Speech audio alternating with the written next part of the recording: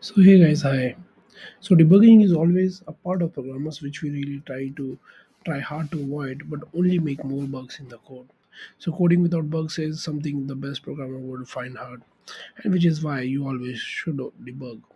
And but many times you always end up with the console log which we see.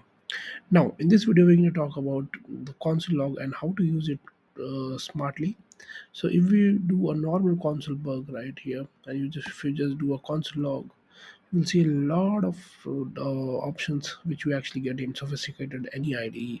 In this example, we are using VS Code, the console log and console warn.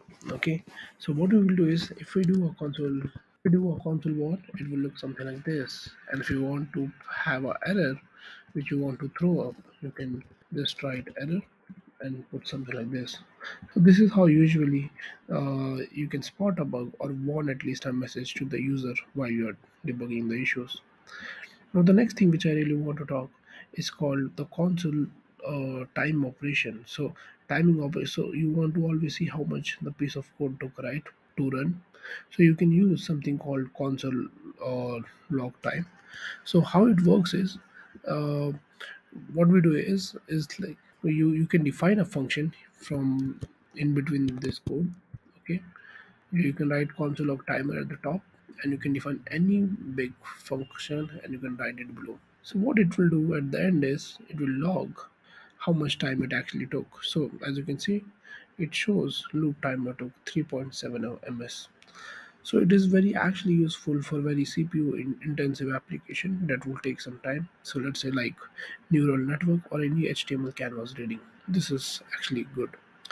Next thing which we are going to talk about tracing how the code uh, got there, right? So let's say if you want to see what actually like how the things went during a flow, and if we try to see this, you can see, uh, and now if we try to call this, you can see it gives a trace. So uh, you will get an output like this. So what it shows the anonymous function, which is actually the main JavaScript code called the random function, which actually called the trace. Next is logging, console logging a group message. So let's say you have a list of console log and instead of writing each one by one, you can actually group it. So if you have a console like of let's say test one, right? And you have my message group at the top one, and then you define the group end at the bottom. Okay.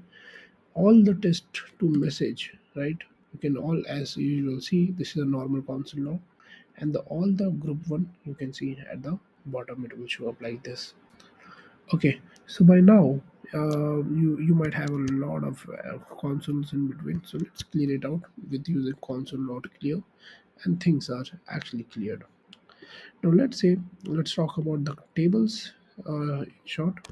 So let's say you have two persons person one and person two. And now if you try to do a console log of them it will look quite messy. But there's a better way to do this. So how we do is we use something called console.table and if you try to press enter you might see all the details of person 1 and person 2 in a very good way the next one which we are going to talk about is the css in the console. So i know this is unbelievable but this actually happens. So if you go to any big websites of facebook or something you will al- always see their console has uh, something different uh, css applied. So how to do it is you, you have to just define a console log as usual. And as you can see we are defining a percent c here. This is where the magic lies. And after that we are actually defining the color and solid and everything. And now if i press enter you will see we have a different javascript but with but with css. So thanks for watching this video. If you have any doubts you can let me know. See you in the next video guys. Thank you. Have a nice day